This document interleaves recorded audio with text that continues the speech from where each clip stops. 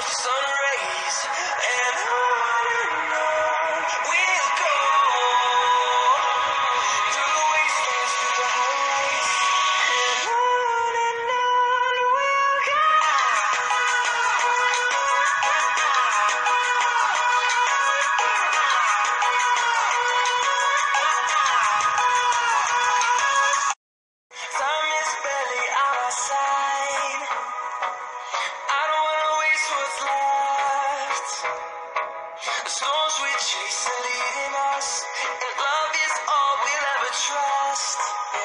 No, I don't.